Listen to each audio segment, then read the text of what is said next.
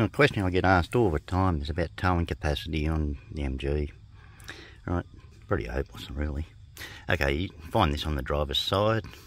Just open up your door and it's just inside there, right beside your seat.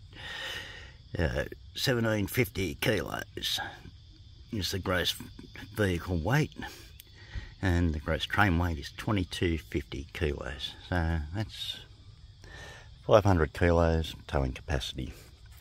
Okay, so yeah, average box trailer is around 250 kilos, so it leaves you 250 kilos left. All right, so you're going to go away camping, and the missus wants to go, and the two kids.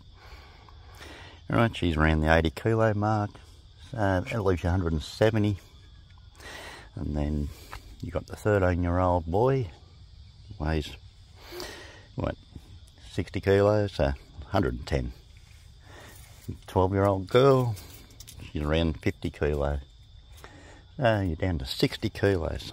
So you can only legally put 60 more kilos inside the vehicle or inside the trailer. So pretty hopeless really. Now, if you go over that, you're risking, if you get into an accident, you're risking some serious trouble.